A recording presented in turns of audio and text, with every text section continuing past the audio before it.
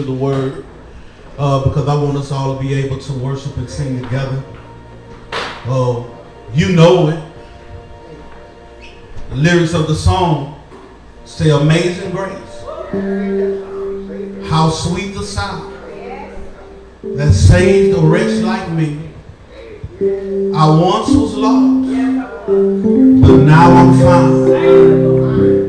Was blind, but now I see. If you really know God in a real way, I don't have to explain to you the significance of this song. When you have a relationship with Him, you know it was nothing but His amazing grace that brought you to where you are right now.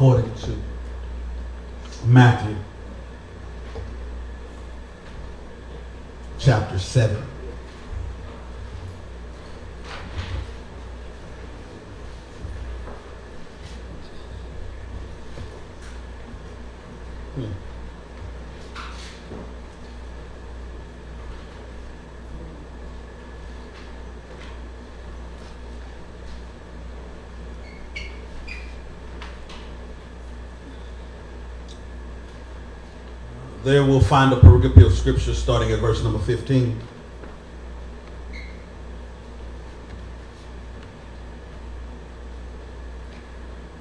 That will act as the second part in our preaching series on stewardship. Are you there? Amen. The word of the Lord reads this way Beware false prophets, which come to you in sheep's clothing, but inwardly they are raving wolves. Ye shall know them by their fruits. Do men gather grapes of thorns or figs of thistles? Even so, every good tree bringeth forth good fruit, but a corrupt tree bringeth forth evil fruit.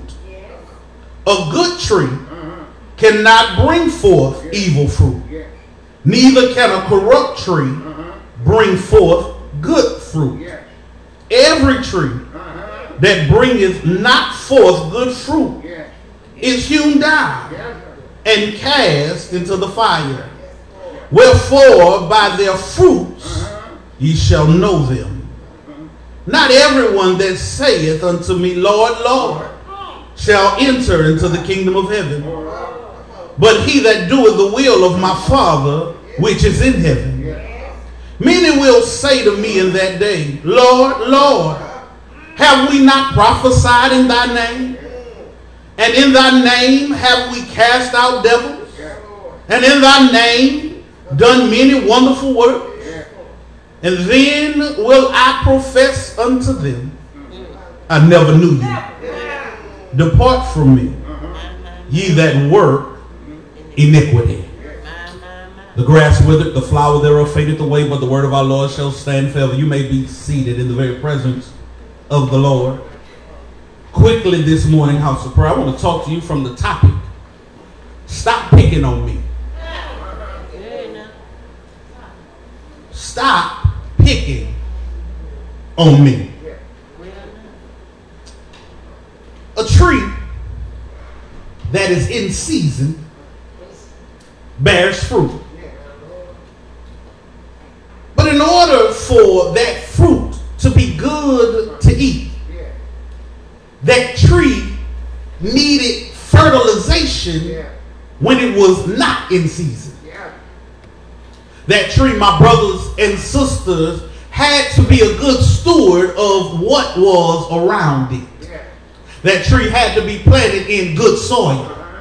And that good soil had to have good fertilizer around it. Now, there's different types of fertilizer. There's fertilizer that you can go and buy from the store. Uh, that fertilizer can be put around a tree or a plant and it brings nourishment. But then there are other types of fertilizer that come in a more natural sort of way.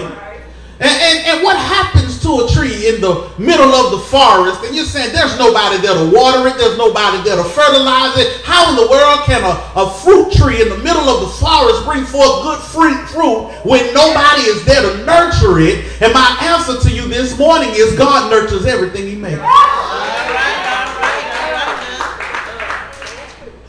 there are natural ways to fertilize a tree that it brings forth good fruit.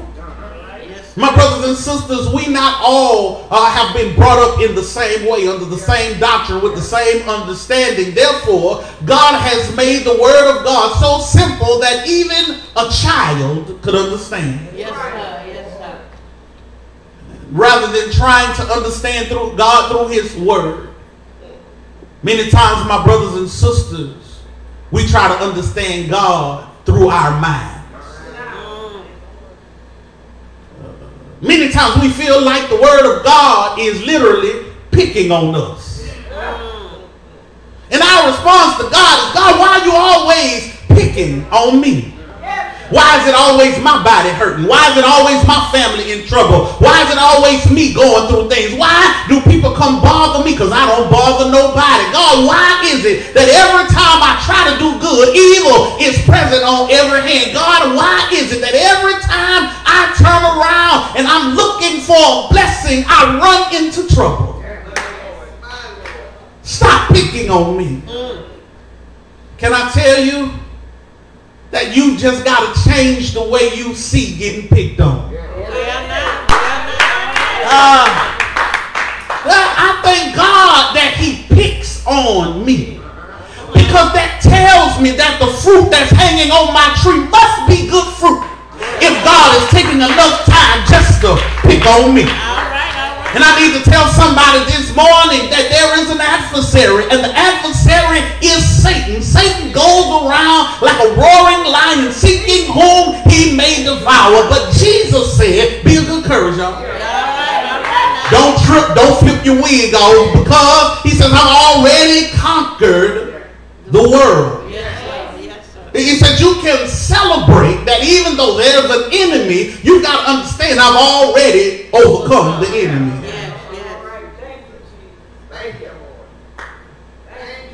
You can't allow yourself to get so down and distraught with God that you lose hope. You have to be a good steward over your mind. A good steward over your heart. And a good steward over your body. You've got to watch what you allow people to speak into your ear gate. Got to watch what you allow people to speak into your life. Look, uh, even if you're sick, you ain't dead. And, and even if you're hurting, you can still move around and have the ability of your limbs. Look, I don't care how far down you are. God's arms are so long, he can reach way down and pick you up. You've got to watch what you allow people to speak into your life. I don't care if you don't have no faith. You being faithless don't have nothing to do with me. Because I believe God can do exceeding abundantly above more than I could ever ask or think. I, what my situation is is not relying upon your faith. It's relying upon my trust and my faith in God. And I need to know, do I have at least three or four people in here who say, I trust in God wherever I may be, out on the land or on the storm and see those pillows roll, he keeps my soul. My heavenly Father he watches over me. I don't have to be concerned. I don't have to be worried. All I have to do is trust in the Lord with all my heart and lean not to my own understanding. But in all my ways acknowledge him and who helps me? He directs my path. Walk with me around the text.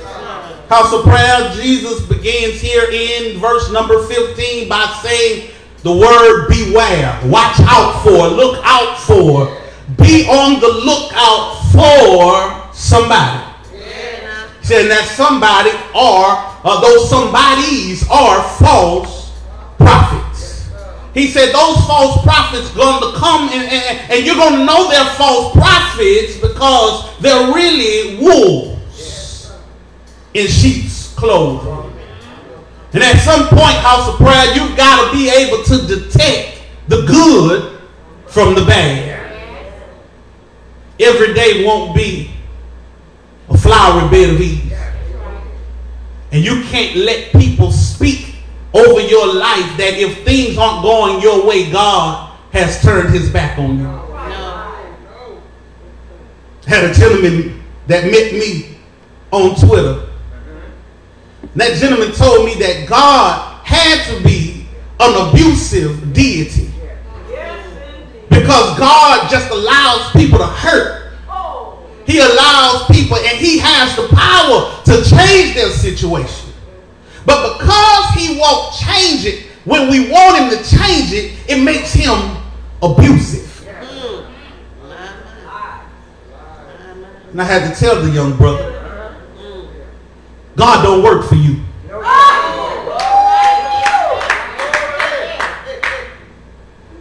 We work for God. And God doesn't rely on you understanding what he does, why he does, or how he does. It's up to us to trust him enough to know, even if you don't do nothing else, you've already done enough. Yes, I might be in pain, but he's still God. My situation might not have changed when I wanted it to change, but he's still God. And if tomorrow comes, it's a good possibility tomorrow will be better than today. And I would rather be in trouble with God than not in trouble without him.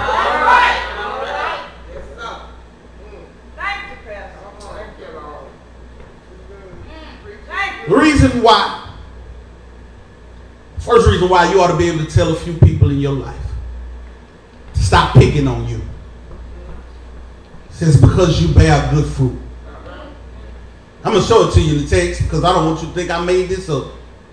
The Bible says this, verse 16, follow me there. He says, You shall know them by their fruits. He says, Do men gather grapes thorns and figs of thistles? Verse 17, even so, even every good tree bringeth forth good fruit, but a corrupt tree bringeth forth evil fruit. Now, this is the thing. Some people want to pick on you so that you go back to being who you used to be. They see your good fruit. They're jealous of your good fruit. And they want to stop you from being able to bear good fruit. Okay, I'm to stop using fruit. Y'all going to make me act ignorant. Right? Uh, check this out. Check this out, y'all. Um, when, when people see you on the job, they see you getting a raise. They see you living good, driving good. Your husband treats you good. Your children acting like they got some sense. Somebody say, I need to throw a monkey wrench in the plans because I need your life to be as miserable as mine. Deacon Beasley, women have known this since Eve. That men are susceptible to two things. Food and women.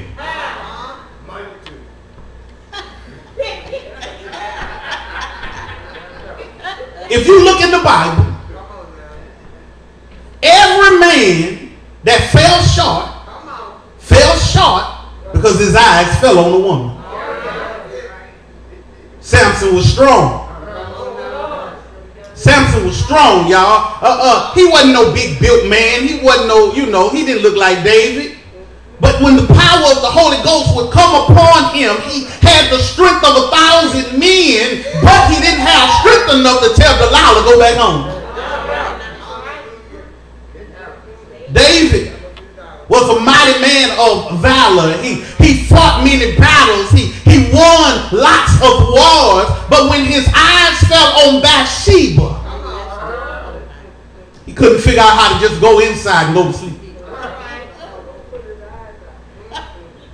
And no matter when you are bearing good fruit, the enemy knows how to come in and disrupt what you got going on. Then you get caught up with people who the Bible says here in verse 17 don't bear good fruit. He says that they have corrupt fruit because they come from corrupt trees. And I know sometimes the devil will keep you up all night long. And you flipping on the television channel. And you finally make it to the religious channel and you say, I'm going to just listen to this till I fall asleep. And while you falling asleep, somebody on TV talking about if you send me 99.99, I got this bottle of water right here that I'm going to send to you. And whatever's going wrong with you, this healing water is going to change your life. But you got to send in a donation of 99.99 in faith. That's a corrupt tree. That's a very corrupt tree. Because the Bible tells me this, I can lay hands on myself. I don't even drink no water. I, I can speak over my own life. I can pray for me. I don't need nobody to come and shanda halahanda over me at all. I can lay hands on myself. Y'all looking at me crazy. I don't have to go to the healing and delivering service. Because God can heal me at my house.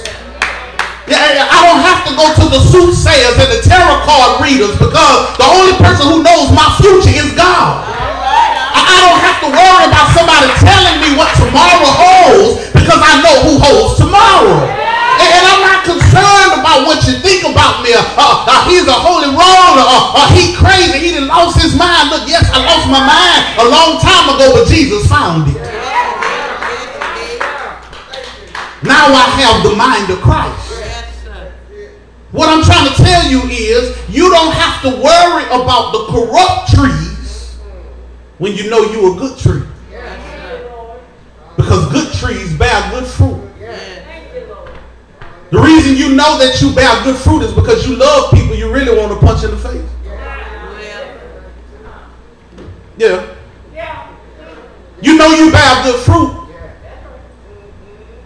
because the things you used to do, you don't do them anymore. You're bearing good fruit because when other people in trouble, they run to you. And you feel like I don't have nothing. Why do people always call me? Why people always seeking me out? It's because they know they can pick on you. Yes, sir. Yes, sir. Yes, sir. All right now. You've got something they can't buy out of the store. You got something they can't find in a boyfriend or a girlfriend or in a husband or in a wife. You got something that comes from God, that's been nurtured by God, that's been tried by God, that is trusted by God. And when people need something, God sends them to you because you're bearing good fruit. I'm going to move. Second thing is, your roots are firm in the word of God. Verse 18 says, A good tree cannot bring forth evil fruit. Neither can a corrupt tree bring forth good fruit. Look at verse 19. He says, Every tree that bringeth not good fruit is hewn down or is chopped down and cast into the fire. The fact that you're still standing today lets me know that you're a good tree that's bearing good fruit. Yes, sir. Because you gotta you gotta understand the day house of prayer that the reason why folk are getting cut down day after day after day is because God is doing some pruning in the forest.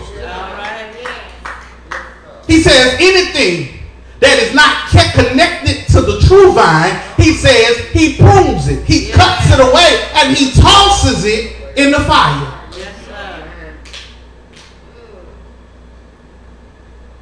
Anything that's attached to your body that's not functioning correctly. The doctor will tell you, I need to amputate it. Because if it stays connected to your body, it's going to poison the rest of your body and you will die.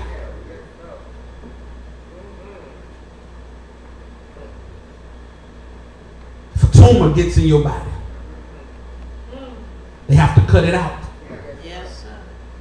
because it can poison your whole body. Sir. You can die.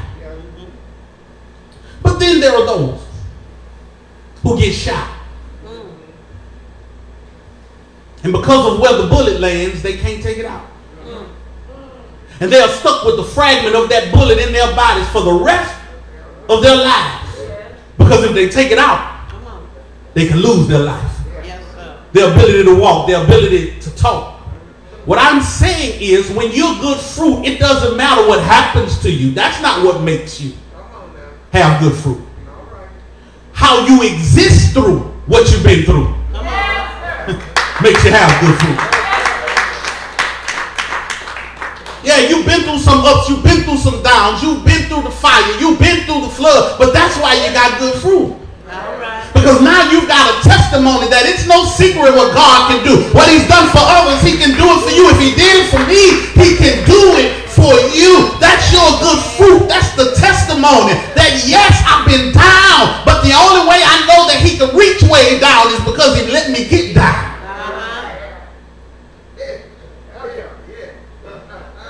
So many of our young people are led astray in the 21st century.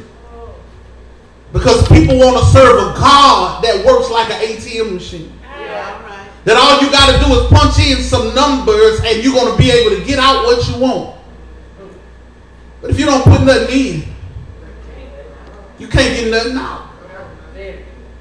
I say this, and I'm going to say it till God called me home. You can't pimp God. You can't play God. You can't trick him into blessing you.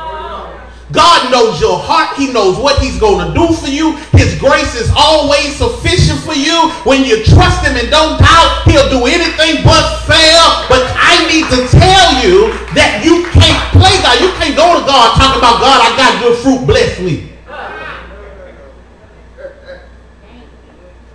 Your good fruit shows your good work to other people so that they can glorify your Father which is in heaven. Yes.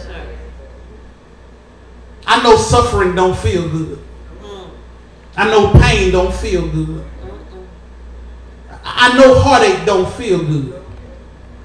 Feeling lonely does not feel good. Feeling abandoned does not feel good dealing with anxiety and depression and post-traumatic stress disorder does not feel good. But God never promised you every day would be easy. But he did promise you he would never leave you. And he would never forsake you. He promised you that he would be a friend that will stick closer than a brother. And sometimes when you're in pain, it's not for your brother to take your pain away. Sometimes it's for your brother to encourage you while you're in pain. See, and, and we've got to stop fooling one another telling one another, all right, it's going to be better tomorrow. No, tomorrow might not be better. But the psalmist told me in Psalm 30 and 5, weeping endures for a night.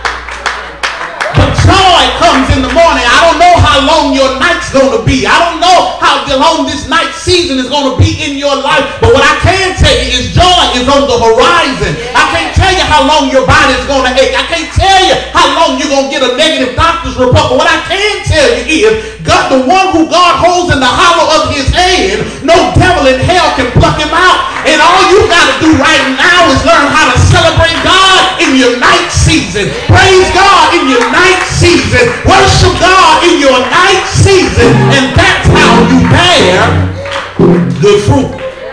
Lastly, I'm done after this. You got to know that your fruit pleases God. Yeah, you got good fruit. You're a good tree because your roots are firmly planted in the Word of God. But finally, you got to realize that your fruit pleases God. Verse 20, Jesus says something profound. says, Wherefore, by their fruits you shall know them. You don't know the preacher. It's not about how good the preacher preaches. It's about how much of what the preacher preaches that he can live. See, if I can't live what I preach, I'm a false prophet. If I can't stand on what I say I believe, I'm not worthy of standing behind this sacred desk. If I fall out when adverse times come, how can you trust it? And what I found is that every single day there is some preacher, some pastor, some way throwing in the towel because things aren't going his way. See, but you wonder, well, Pastor, how can you be so excited when sometimes when the membership is so low? And that's because I remember pastoring House of Prayer when I only had eight members. I remember pastoring House of Prayer and, and trusting God uh, on third Sunday, uh, not having enough for the rent and saying, God, I don't know how we're going to pay the rent before the month is out. But on fourth Sunday, God make a way out of no way. And we're able to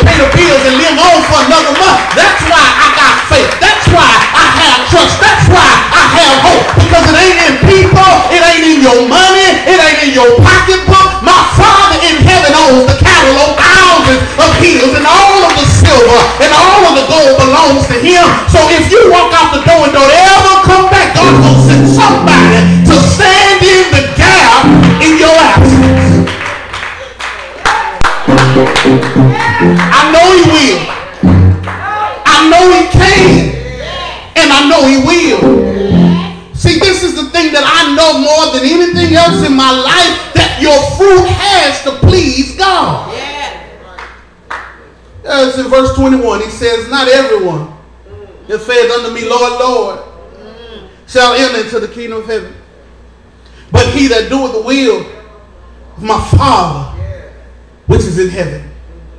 Your fruit needs to please the Lord. Because there's going to come a day when you have to give an account for your fruit. You're going to have to stand before God and explain why you chose to be who you decided to be. Well, Yeah, you're going to have to find out. You're going to have to tell God, God, you know what? Mm, evangelism wasn't that important to me. mm, Discipling people wasn't that important to me. 52 Sundays a year wasn't really that important to me. Being faithful to you wasn't really that important to me. mm, Because I wanted to have fun.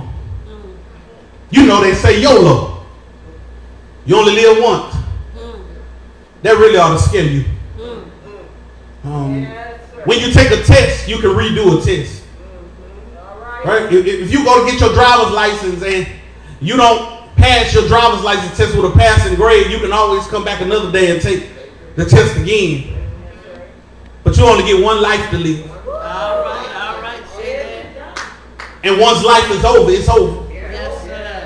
The Bible says it's appointed unto man to be born, to die, and then the judgment.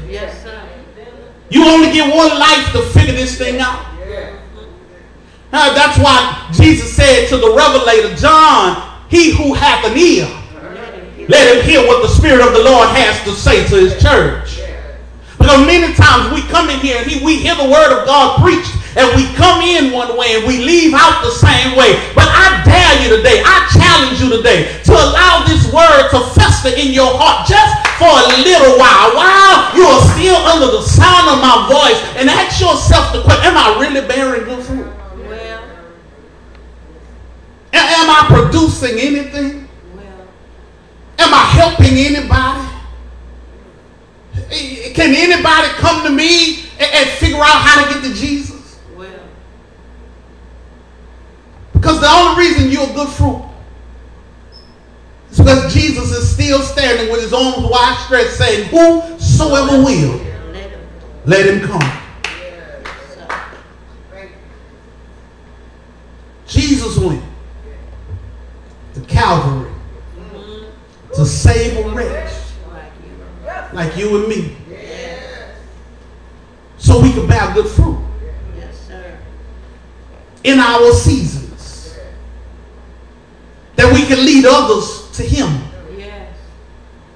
That's why he said in Matthew 28, Go ye therefore. He says, and go to all nations. He says, teach them what I taught you. And baptize them. And he made us a promise. He says, Lo, I'll be with you always, even until the end of the age. No matter what you need from God today, He's able. He's sitting right beside you. The Holy Spirit is even stirring your heart even right now. I know the Holy Spirit is stirring your heart because you have to ask, answer the question today. And you don't have to answer it to me. You got to answer to the Spirit of God today. Uh, am I going to yield to God or am I going to keep doing what I'm doing? All right, all right. Am I going to yield to God? Am I going to remain in darkness? Mm. Am I going to yield to God today? Or am I going to keep making excuses? Mm.